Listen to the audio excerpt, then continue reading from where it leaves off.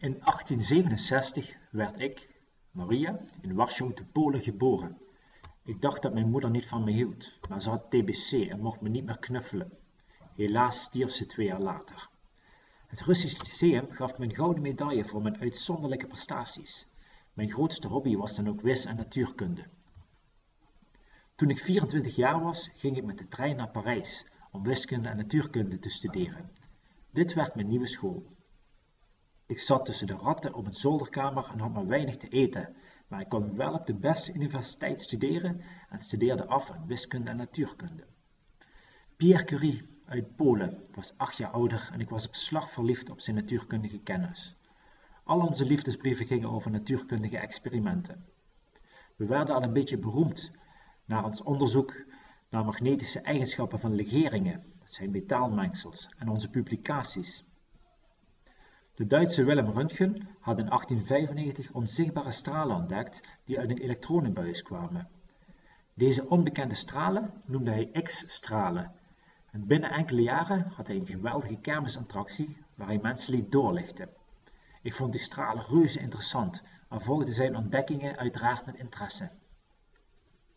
In 1896 ontdekte Henry Becquerel een ander soort doordringende straling dat zonder menselijk ingrijpen uit een stuk uranium kwam.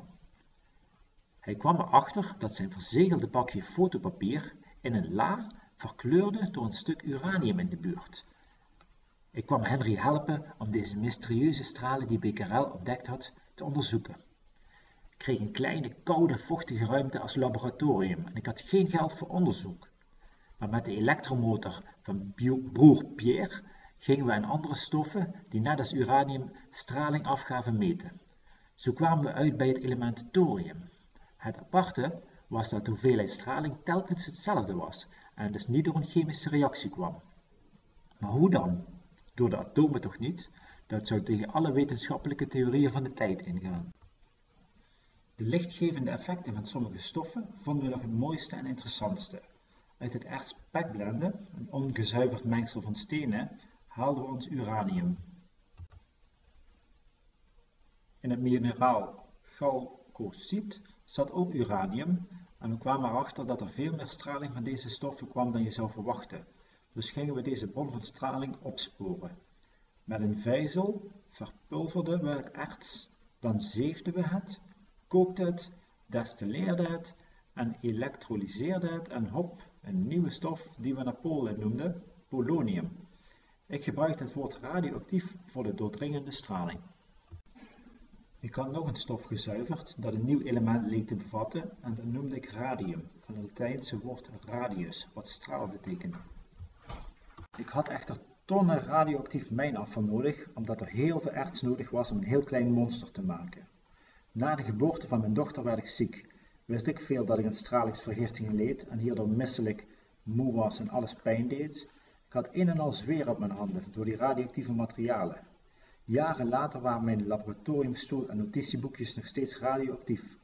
Vrijwel al mijn collega's overleden vroegtijdig, maar ik ging vaak fietsen op het platteland in de frisse lucht. We weigerden te geloven dat de straling schadelijk was.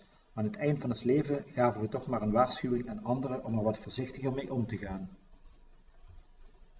Mijn meesterwerk was een pure vorm van radiumzout. Ik had maar liefst 1 tiende gram gemaakt. Hier moest ik wel 700 kilogram pijkblenden voor. Toen ik mijn derde Nobelprijs kreeg, was ik te ziek om de prijs op te halen. Ik ben het beroemdste door de ontdekking van het radium geworden, wat zo mooi gloeide in het donker. Men kon er ook ziektes als kanker mee genezen en we kregen heel veel geld om de methode te vertellen om radium te zuiveren. Overal kwamen radiumfabrieken en we kregen een fort van meneer Fort cadeau.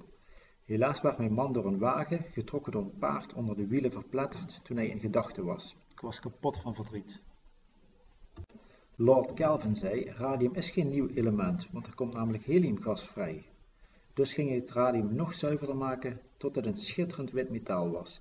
Ik kreeg een Nobelprijs voor dit prachtige, pure radium. Radiumtherapie werd door mij wereldberoemd, onder andere om tumoren te vernietigen.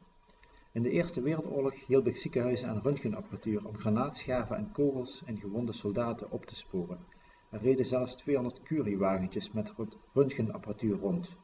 Op mijn 50ste kon ik haast niet meer zien en horen, maar kreeg door een Amerikaanse inzamelingsactie 1 gram radium voor toen 100.000 dollar. Mijn radium werd volop in wondercremes toegepast, maar dat werd geen succes. Het werd mij duidelijk dat de brandwonden, tumoren, misselijkheid en zweren door radioactiviteit kwamen, wat ik natuurlijk erg jammer vond. In 1934 stierf ik, nadat ik mijn halve leven had geworsteld met stralingsziekte.